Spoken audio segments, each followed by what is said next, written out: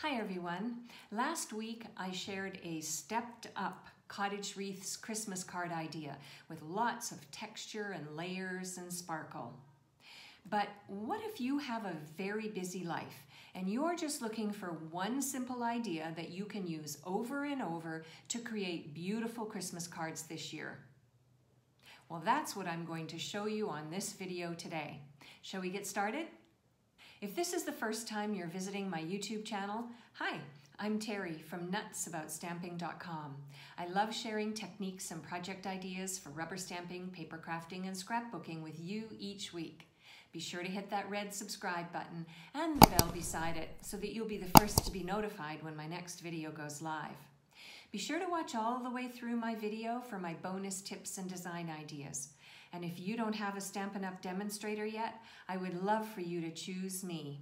I'll link to my online stores in the description box under this video. Now, let's get going on this easy Christmas card idea. The Cottage Wreaths bundle is perfect for creating simple holiday cards like I'm going to show you today. You can make wreaths for tags, cards, and for Halloween, Thanksgiving, and Christmas.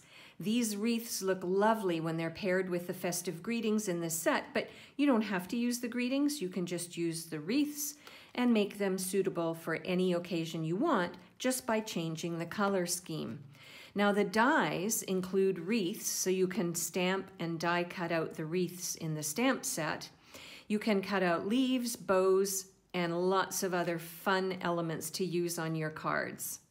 So I'm going to use this bundle to show you how you can create a simple Christmas card to make multiples of them to help you with your very busy life. I'm going to start off with a layer of shaded spruce.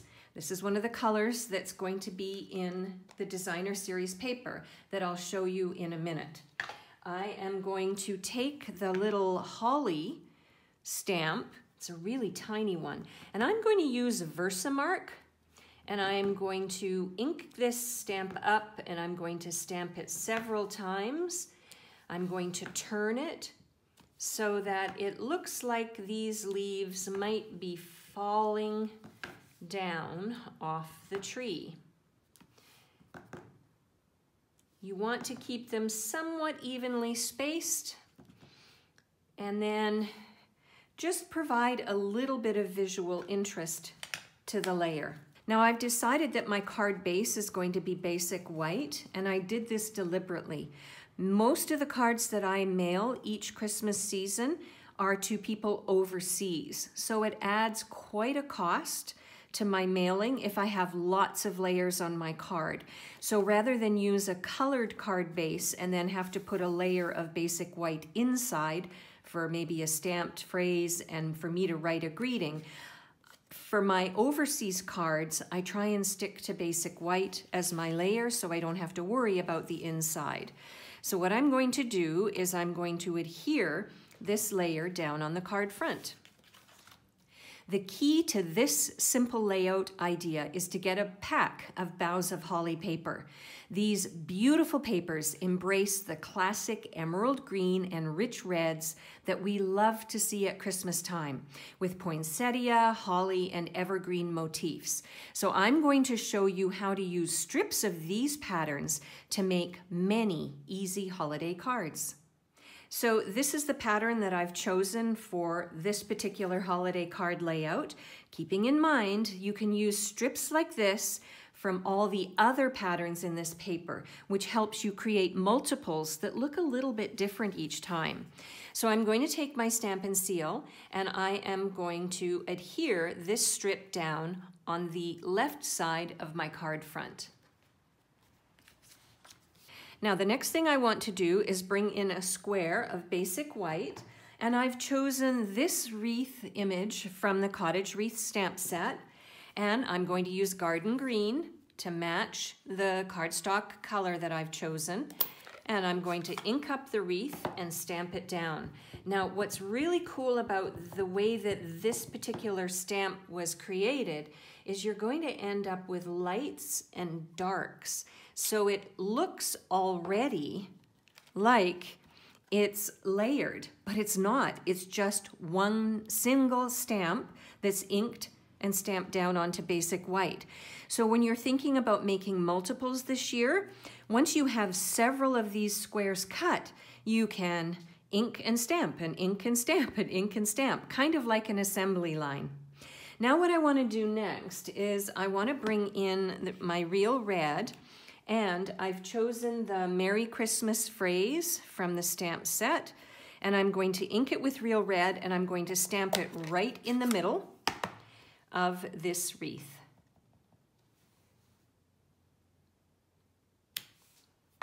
Like so. A little bit crooked, but that's okay.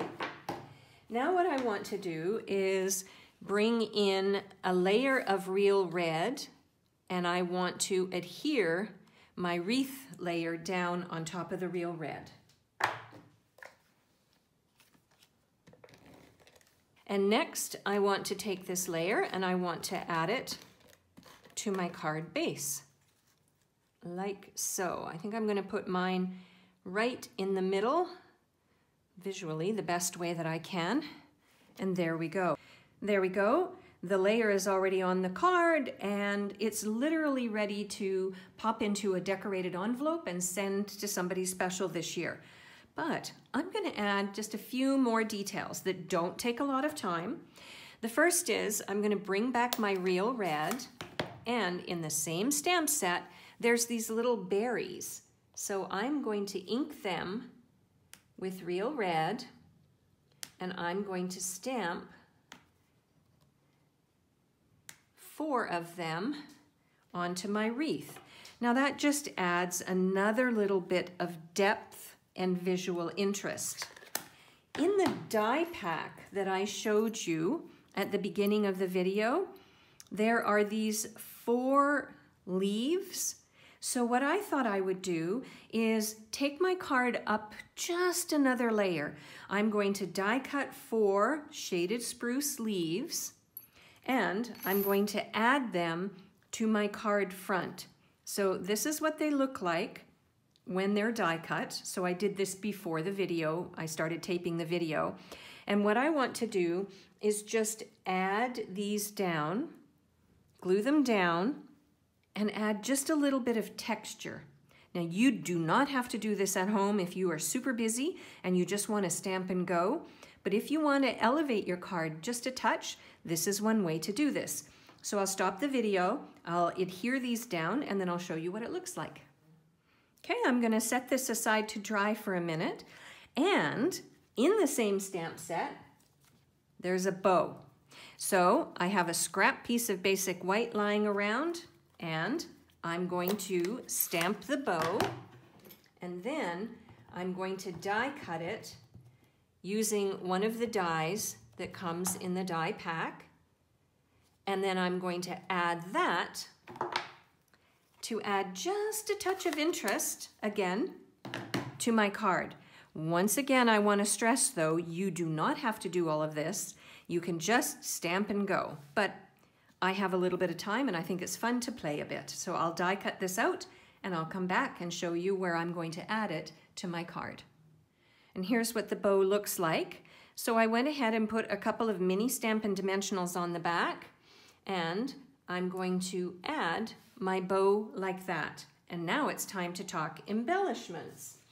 Now I've decided that I'm going to use some iridescent pearls basic jewels and I'm going to use some of the larger ones and I'm going to add them to the flowers that are already showing a center in the designer series paper.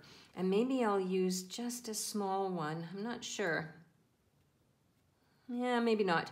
Maybe I'll put a small one in the center like that. I like to use an uneven number of embellishments on my cards. If you'd like to see a stepped up cottage wreaths Christmas card idea, why not watch this video next?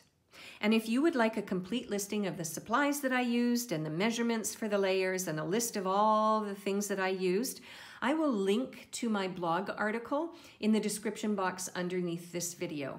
You can link over there, you can see what I used, how I cut everything out, And I'll also add the product ordering numbers in case you want to order this bundle and paper to make a bunch of holiday cards this year. I'm Terri. I'm nuts about stamping. I'll see you at the next video. Bye for now.